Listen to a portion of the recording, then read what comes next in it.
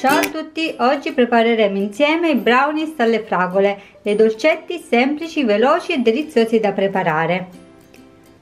All'interno di una ciotola inserite 2 uova e 110 g di zucchero, mescolate con una frusta.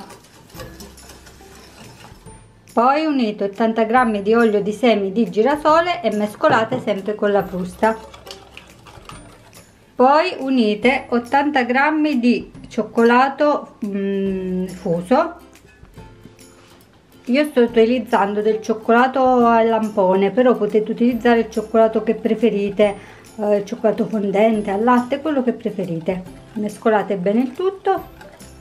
Poi unite 80 g di farina 00 20 g di cacao amaro in polvere e mezza bustina di lievito per dolci mescolate con la frusta a mano ci tengo a precisare che questa non è la ricetta originale dei brownies, infatti come avete visto non c'è il burro, ho utilizzato l'olio, però per farvi capire il tipo di dolce che sto preparando.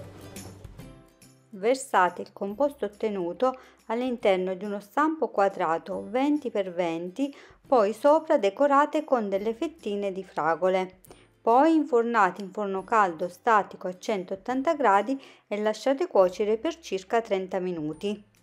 Ed eccolo qui, il dolcetto pronto in pochissimi minuti. È super super buono, goloso e anche carino da guardare. Spero che questa ricettina vi sia piaciuta e mi raccomando se lo provate fateci sapere. Ciao a tutti alla prossima ricetta.